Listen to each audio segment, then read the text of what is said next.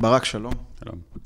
ליאב נחמני מישראל היום שואל, האם יש כוונה להלביש למשחק מול קריית שמונה את אה, צ'רון שרי, שעל פניו לא סבל מתסמיני קורונה, ומה מצבו של אה, ניקיטה רוקאביצה, שמתאושש?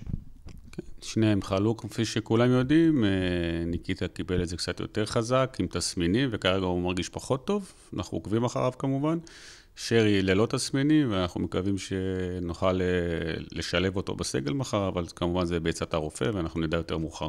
יגאל גולדשטיין מערוץ 5 ומיכאל וייסרמן מספורט אחד שואלים, כיצד אתה רואה את ההתאקלמות של עומר אצילי עד כה בקבוצה?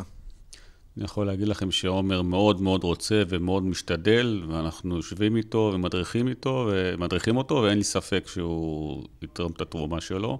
אבל הבסיס שלו טוב, הוא רוצה, הוא עובד קשה, גם באימונים וגם במשחקים, ואין לי ספק שגם היכולת שלו, הטובה שלו תגיע. דורון בן דור מוואן אה, שואל, איך נערכים ליריבה כמו קריית שמונה שתגיע לצופה ולנסות אה, לעקוץ בהתקפות מעבר?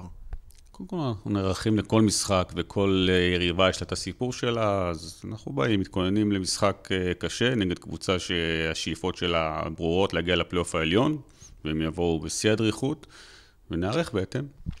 שלמה וייס מוואלה שואל, אה, מבקש הסבר למאזן הבית העונה דווקא בלי הקהל, והאם השבירת השיא של עונת 93-4 זה משהו שסימנת לעצמך כמטרה, אז היו עשרה ניצחונות בית ברצף.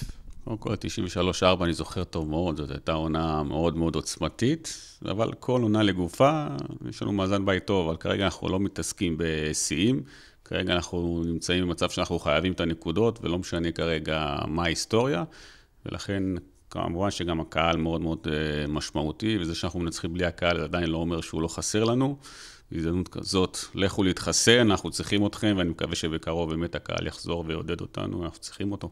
שמעון אלבז מידיעות אחרונות אה, אומר, אה, דוניו מתגלה כבינגו, יכול להיות שהוא היה ראוי ליותר קרדיט? קודם כל אני שמח שבאמת הוא נכנס לעניינים ועושה גולים חשובים, אבל מעבר לגולים הוא עובד מצוין, אני יכול להגיד לכם גם בתקופה שהוא לא שיחק, הוא עבד מאוד מאוד קשה, הוא אישיות טובה מאוד, וכמו שלא שפ... אני לא שפטתי אותו שהוא פחות שיחק וגם לא נתן מספרים, מן הסתם, אז גם עכשיו בוא ניתן לו את הזמן שלו, הוא צריך עדיין להוכיח את עצמו, אבל אני שמח שהוא באמת נראה טוב ועוזר לקבוצה.